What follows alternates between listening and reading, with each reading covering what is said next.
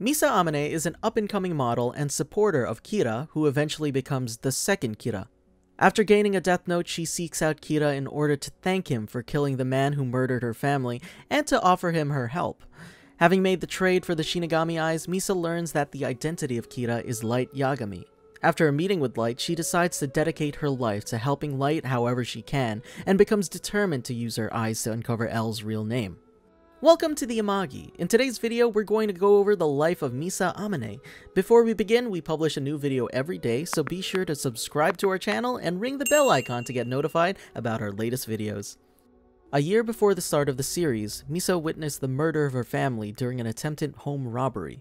The trial against her parents' murderer continued over a long stretch of time, during which opinions that he was falsely accused began to surface. After he was killed by Kira, Misa felt justice had been served, prompting her to become a loyal Kira supporter. One night, shortly after beginning her modeling career, Misa met an obsessed, knife-wielding stalker. He confessed his feelings to Misa, but upon her rejection, he attacked and attempted to kill her. A Shinigami named Gelus, who had been watching Misa from the Shinigami realm and had fallen in love with her, wrote down the name of her stalker and killed him, ultimately saving Misa's life. Since Shinigami are meant to shorten human lifespans and not extend them, Gelus himself died, turning to dust and leaving behind only his death note. Since Misa was meant to die, but was saved by Gelus, the years of Gelus's lifespan were given to Misa's, extending her lifespan greatly past the average lifespan of a human being. Another Shinigami, Rem, witnessed the sacrifice and decided that Gelus's notebook should belong to Misa in accordance with Gelus's wishes. After giving Misa the death note, Rem was obligated to stay with her, and Rem eventually develops feelings for her over time, as Gelus did.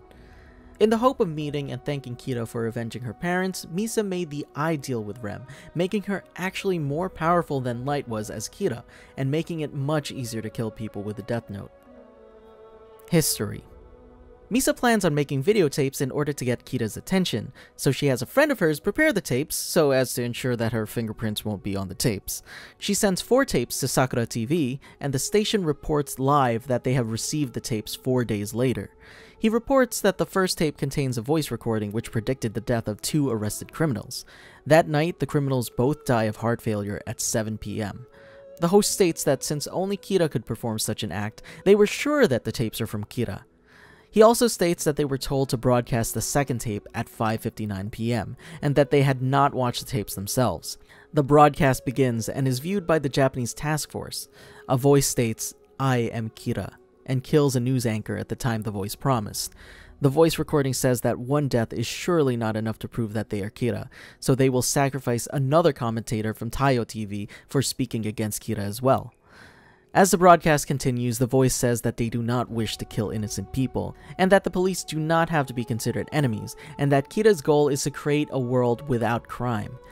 Kira, quote unquote, continues by stating that even if you disagree with Kira, as long as you do not go against Kira in public, you will not be killed.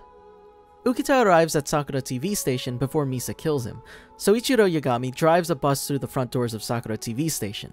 Kira continues by asking the police to give an answer four days from now, on April 22nd, if they will help Kira create a better world, and that Kira has tapes to be aired at 6pm of the same day in response to their answer.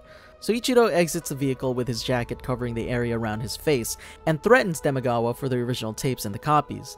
As the task force watches the broadcast, Sakura TV's broadcast is cut while two other stations continue to report on the incident happening in front of the Sakura TV station. L calls Vice Director Kitamura and Soichiro and arranges for a large number of police officers to block Soichiro from Kira's view using their bodies and armored police vehicles as cover. NHN reports that the police have taken a stance against Kira. The next day, the task force arrives at headquarters, and L explains that tapes 3 and 4 had arrived with instructions. If the police agreed to work with Kira, tape number 3 should be aired.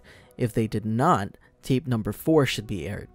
The third tape contains details of the agreement, saying that the police are to release all details of criminals so that Kira can deal judgment onto them. To seal the agreement, those in the upper ranks of the police along with L must reveal their identities. The fourth tape is more or less the same, although it's worded differently. L tells the task force to inform Sakura TV that they can air the fourth tape. On April 22nd, the tape is aired. The fake Kira states that if criminal reports stop, Kira will kill police officers and reporters, and then demands that the life for someone in charge of the Kira investigation be handed over the directors or L's. The fake Kira says to choose one and reveal them in four days, and that, because Kira knows the director's face, there are no special requirements. However, if they choose L, he must appear on Sakura TV's 6 o'clock news and give a 10 minute speech. The fake Kira says that he or she will decide if the person on the news is L, and if Kira decides that he isn't, Kira will take the lives of several police officers as compensation. The fake Kira says to be truthful, as Kira does not wish to kill those who have not sinned, and to think carefully over the next four days. Meanwhile, Light Yagami and Ryuk watch the broadcast, amused, while Light decides to find a way to contact and subsequently manipulate the new Kira without revealing his own identity. On April 24th, Soichiro Yagami informs L that the ICPO has decided that the detective should appear on TV. L also deduces that this is the work of a second Kira. L says that catching one Kira could definitely lead to clues about the other. He then says that a battle has begun between them and Kira to find the second Kira first, and that there's a chance that they will uncover the real Kira in the process. Meanwhile, Rem asks Misa if it's a good idea to not use the Death Note for herself, which Misa says that she is using it for herself.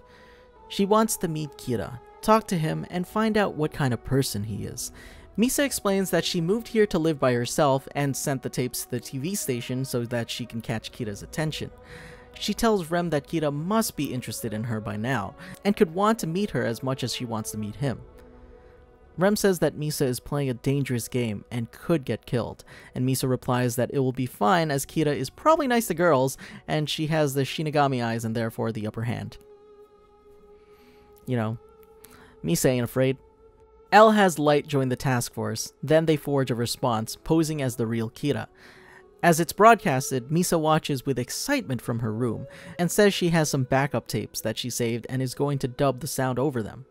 Rem asks her what she plans to do, and Misa says that she's going to reply to Kira, and then wonders what she's going to say to him. Sometime later, Misa forms a response herself, which mentions Shinigami.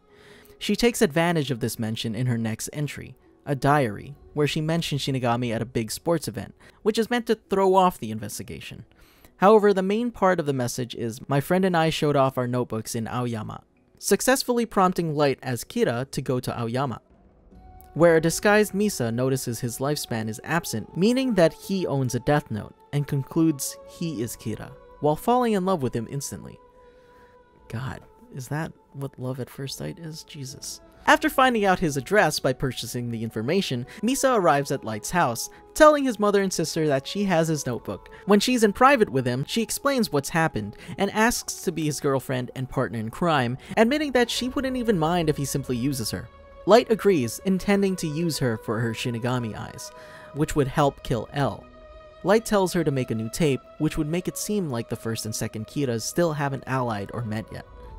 Light explains to her that he'll have to date a bunch of other girlfriends in order to mask suspicion, but Misa protests, saying that she'll kill the girls. Yandere simulator right there.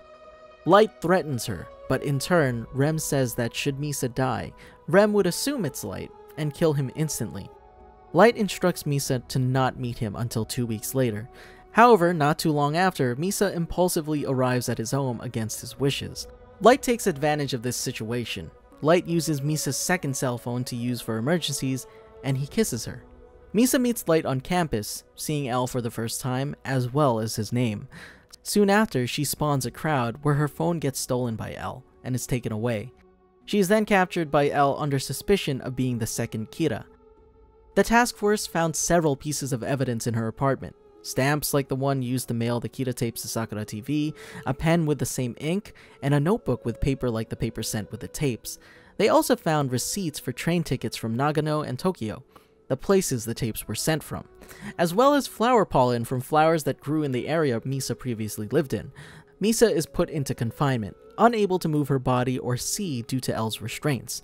Because Misa refuses to talk, L tells Watari to do everything possible to make her, and to even resort to torture if necessary. Misa eventually asks Rem to kill her.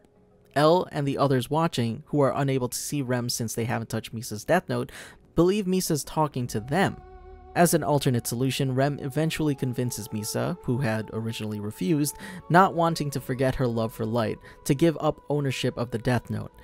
Rem assures Misa that her feelings for Light will not go away and that she'll simply forget that Light is Kira. Misa gives up ownership of her Death Note, causing Misa to lose all of her memories of the Death Note, being the second Kira and having met Kira. After losing her memories and thus forth not sure as to how she got into her situation in the first place, she assumes that a stalker fan of her modeling work kidnapped her and starts talking aloud to convince the stalker to let her go. L and the task force think she's playing dumb, but eventually conclude that it's not an act. Light is eventually able to create a situation in which she's free, but still under surveillance. Misa proves to be a surprising asset to the investigation by uncovering the identity of the third Kira. Yes, there is a third Kira. We haven't mentioned it, but there is a third Kira. She also establishes an alliance with L, whom she only knew as Ryuzaki. This unlikely friendship begins when L tells Misa that he understands her feelings for Light, and, touched by this, Misa kisses him on the cheek and offers to be his friend. L comments that she's the first and only person to ever do so. But, after regaining her memories as the second Kira, Misa trades for the Shinigami eyes a second time with Ryuk and once again takes on the role of Kira. When L notes that the murders continued once Misa was released, Rem realizes that Misa will no doubt be discovered by L, and the only way to prevent this would be to kill L.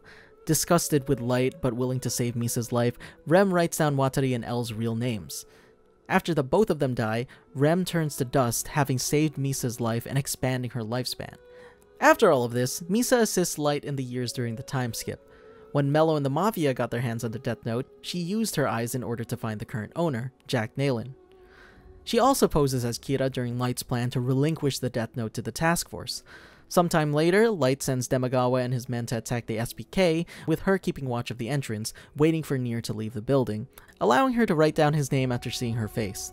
This plan failed as Near had used money to escape and then wore a helmet. Yes, Near escaped because he wore a helmet. Because the task force now suspects Light, he expects surveillance and has her forfeit her ownership of the Death Note a second time. After her memories are gone, Misa ends up spending the remainder of Light's life, which is about two months, in the company of Kanzo Mogi, as he investigates her. She also develops a conflict between her and Takada, Light's new girlfriend. At the end of the anime, shortly after Light's death, Misa is seen standing on the ledge of a tall building alone.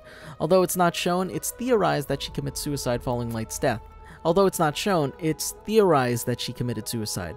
But in the manga, there is no theory, she does commit suicide. Did you enjoy our video?